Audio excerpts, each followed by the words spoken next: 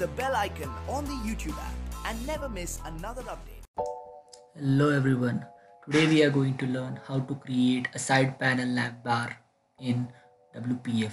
So without any further ado, let's get started. So let's start by creating a new project and filling out its project properties. Now let's select the window and go to the properties panel and change the width and height of the window.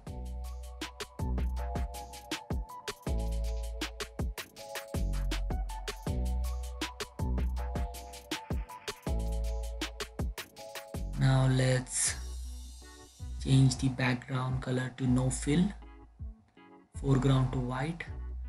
And let's check the allow transparency and the window size or the window state to center. Now let's select the rectangle tool and create a rectangle on the window. Let's resize the grid and the window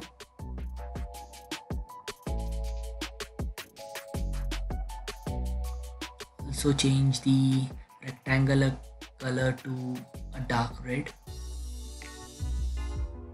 Uh, sorry let's uh, change the color to dark gray and now resize the grid and the window.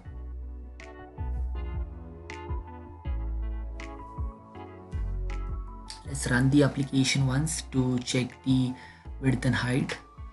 Okay now let's start uh, adding the elements on the rectangle.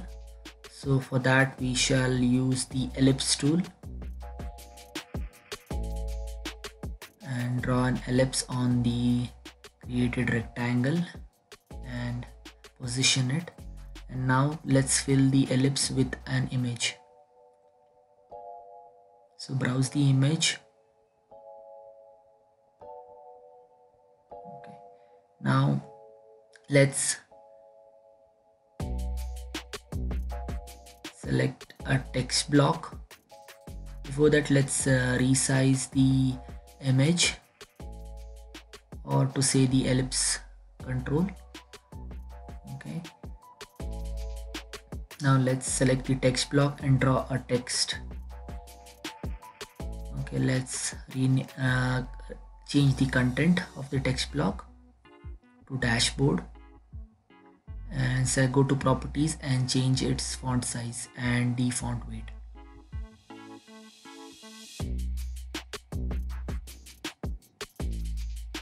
Position the text block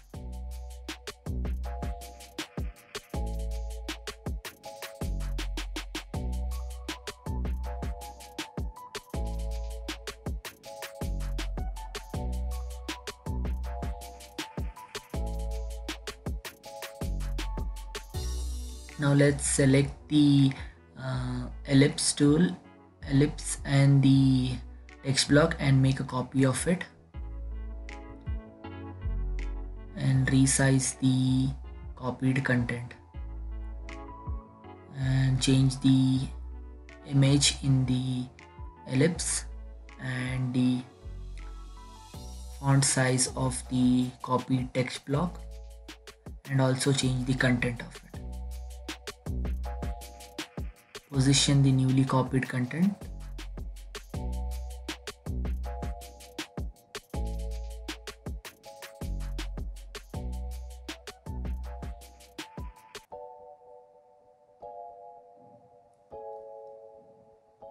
So next uh, we shall make duplicates of the copied content and change the icons and the text for the rest of the copied content. I'm speeding up the process here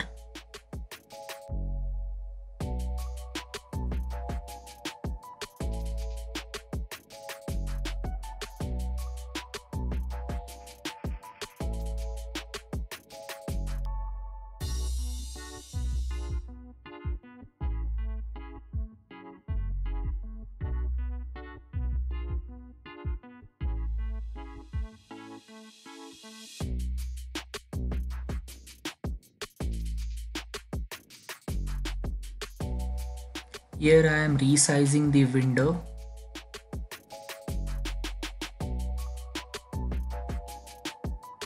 After observing that the elements that are added are uh, uh, occupying less space than the actual size of the window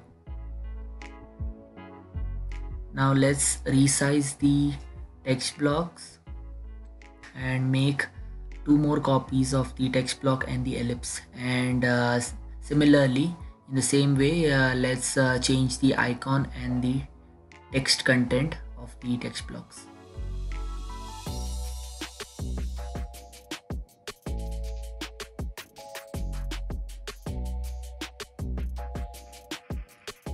Okay.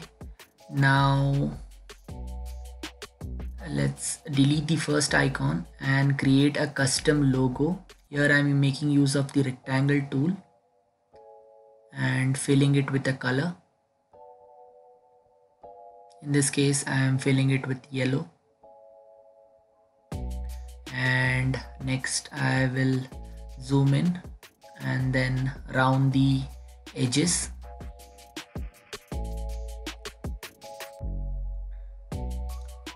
make two more copies of the newly created rounded rectangle and resize them and uh, fill them with a different color.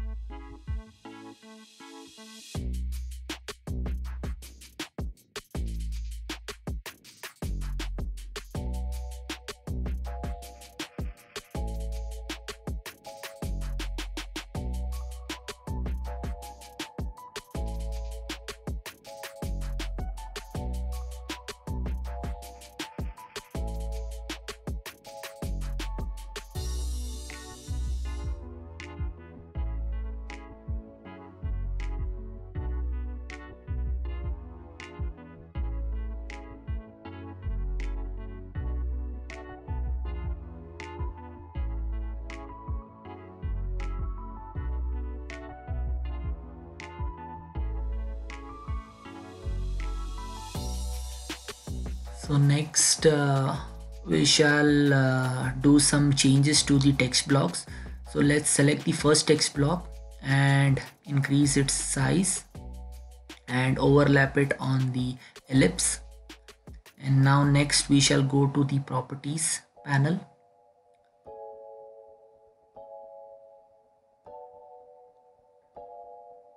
Before that let's delete all the other text blocks and uh, let's expand the properties and go add a padding of uh, 50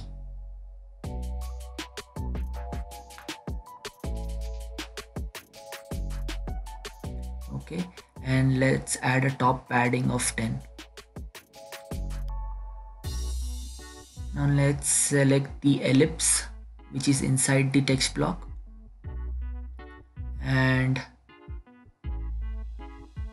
its position. So now let's delete all the other icons and uh, make the similar changes for the rest of them. So let's select before that let's uh, move the ellipse below the uh, above the uh, text block so that uh, when we change the background color the ellipse is always on top. So now now that we are done doing that let's add a storyboard. And uh, on the first keyframe let's uh, add a first keyframe. And on the second keyframe let's change the color of the uh, text block. Okay. Now let's set a trigger on click of the or on mouse enter of the text block. Let's run the storyboard now let's add one more storyboard. And this time we the first keyframe will have the last uh, color when it was highlighted. And on the second keyframe let's revert back the original color which is the color of the window.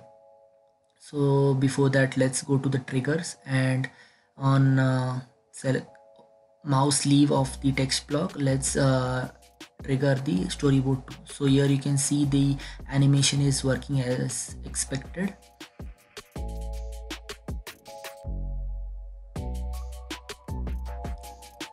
Now let's repeat the same process for all the other uh, links on the navbar so let's make duplicates of uh, the first created uh, item of the navbar and then change the icons and the content of the text blocks. And also we shall add storyboards for each of the navbar item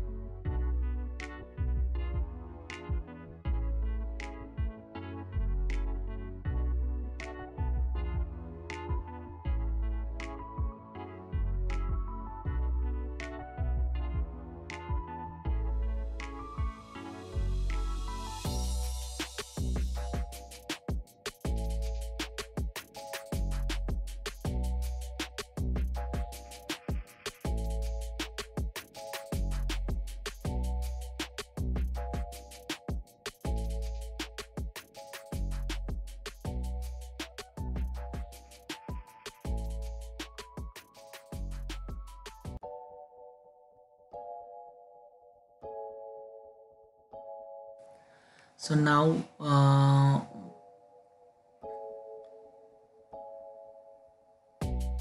now what we will do is uh, we will um, add storyboards to uh, all the uh, navbar elements.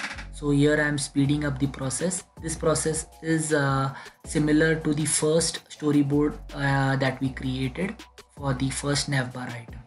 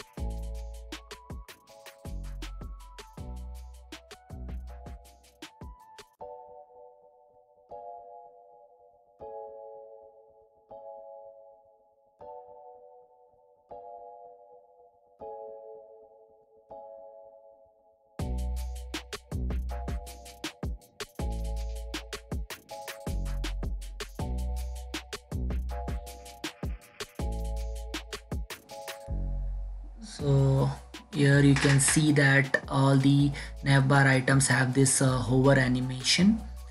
Now next let's resize the main uh, rectangle and hide all the uh, text blocks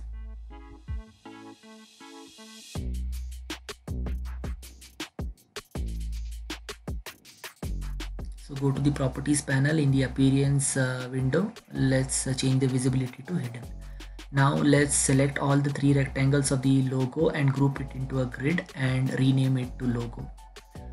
Next uh, let's resize uh, the main rectangle 255 and then let's add a storyboard. And on the first keyframe let's capture the um, actual uh, width and on the second keyframe let's increase the size of the rectangle.